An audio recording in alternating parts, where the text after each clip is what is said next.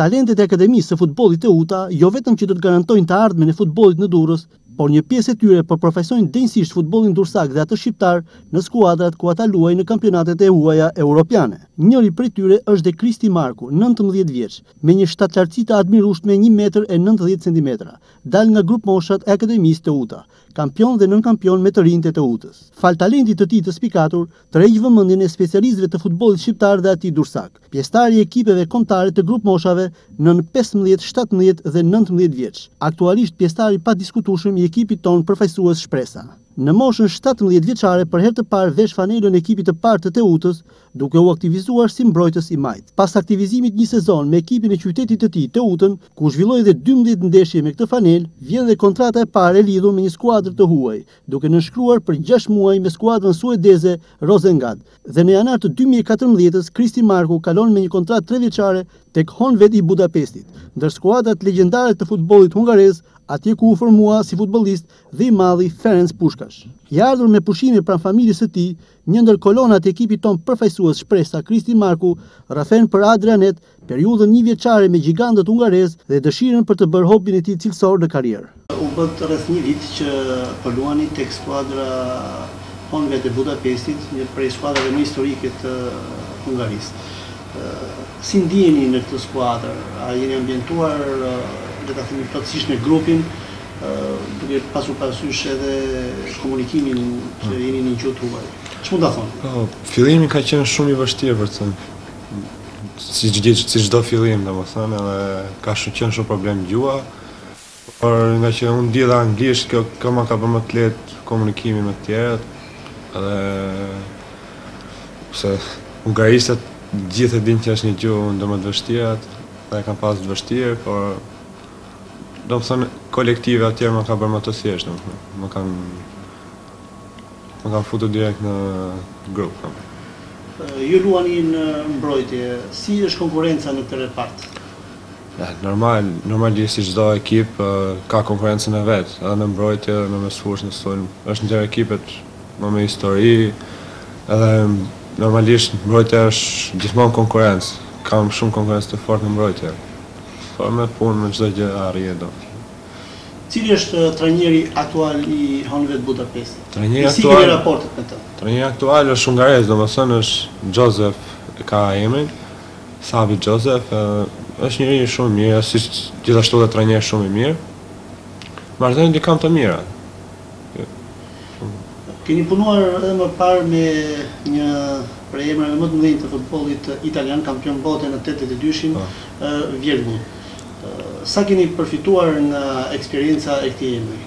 Ka qenë një eksperiencë shumë shumë e bukur, shumë e mirë, domethënë Me Vjerkovudin kam përfituar me të vërtetë shumë. Ka qenë njeri i mirë, trajner i mirë, çdo gjë ka qenë perfekt me Vjerkovudin. Ai domethënë e spikati lojën time, se unë në fillim kur shkova isha te ekipi i dytë i Honvedit. Edhe ai e spikati lojën time dhe më futi te ekipi i parë. Cila është gjendja aktuale e Honvedit në kampionatin hungarez dhe cilat janë objektivat sezonalë të këtij ekipi? Gjendja aktuale nuk është dhe aq e mirë, për arsye kemi ndërruar shumë trajnerë përbrenda fazës së parë dhe jemi diku poshtë mesit të tabelës edhe me objektiva për të thënë qëndrojmë në Superligën Hungareze. A ka Honvedi lojtarë të huaj në skuadrë? Po, po, është i ndërtuar nga shumica, shumica kanë qenë lojtarë të huaj këtë fazë të parë.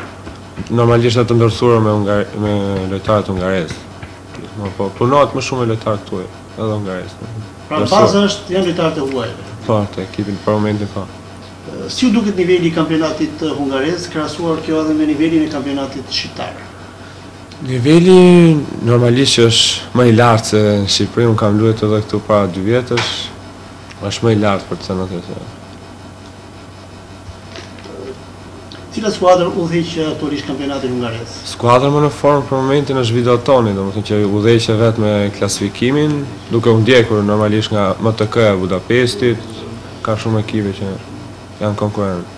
Në çfarë faze gjendet aktualisht kampionati hungarez?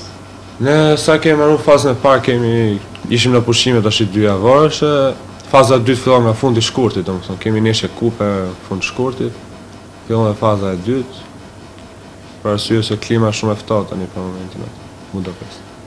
A ka shqiptarë të tjerë që luajnë qoftë tek Honved apo në përgjithësi në kampionatin hungarez? A ka shqiptarë të tjerë? Po, e kam shok, është një shqiptar nga Maqedonia dhe e përshëndes shumë. Lun tek Ujpeshti i Budapestit, është te Ujpesht.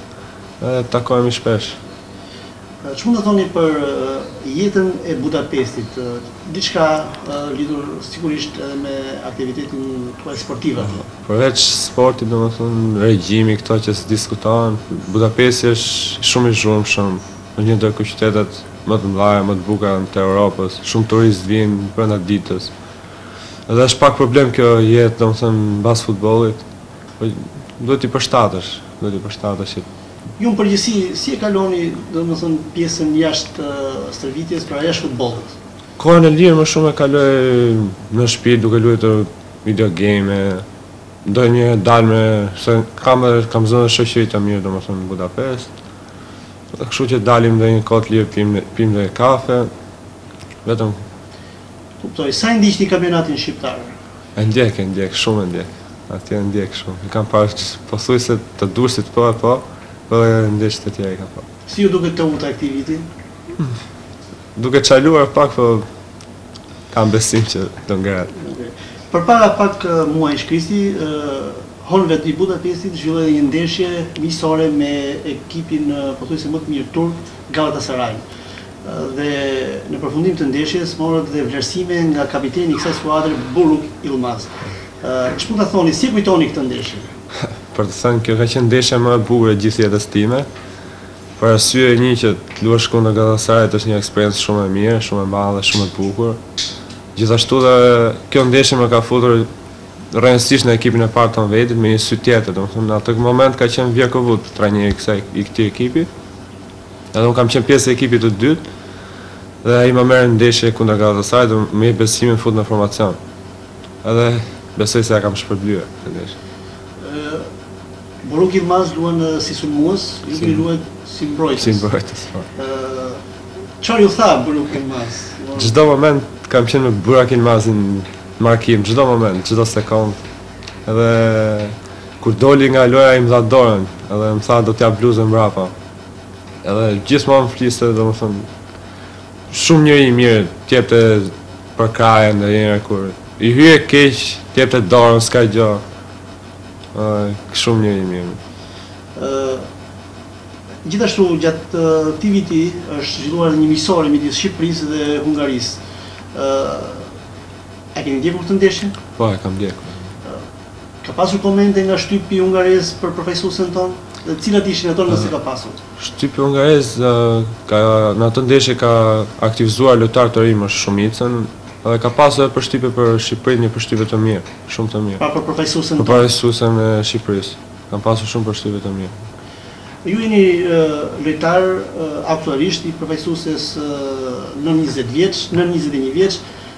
Keni qenë dhe lojtar edhe në përfaqësuese të grupmoshave, që nga grupmosha më e vogël le ta themi deri ku jeni aktualisht. Mendoni se mbase ka ardhur edhe koha të shikoni mundësinë e një ftese nga De Biazi? Gjithmonë e kam menduar dhe është ëndrra ime, domethënë që të jem një ditë në Kombëtaren e Madhe. Duhet të punohet për të arritur këtë ëndrrë, kurrë nuk është vonë. Po, po. Edhe me punë arrihet çdo gjë dhe kam besim tek vetja që vitin që vjen me shumë punë do ta arrij dhe kombëtaren e madhe. Aktivizimi tek Honvéd mendoni se ju ka rritur shumë në pikëpamjen si profesionist? Besoj se po. Besoj se po. Është një ndër ekipet më të mira në Hungari si histori. Megjithëse në këtë kampionat nuk jemi dhe aq mirë, po.